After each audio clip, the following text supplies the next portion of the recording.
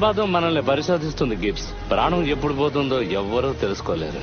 మనిషి జీవితంలో ప్రతి ఒక్క క్షణం ఎంతో అపూర్వమైంది. అయినా నేను ఎక్కువ ఏళ్ళు బతకనని ఎవరు చెప్పారు? యవ్వన జలపాతాన్ని కనిపెట్టిందే నేను కదా. నేనెన్నాళ్ళు బతుకుతానన్నది ముఖ్యం కాదు గిబ్స్. చరిత్రలో ఈ జాక్స్ స్పారో పేరు నిలిచిపోవాలి. చిరస్థాయిగా.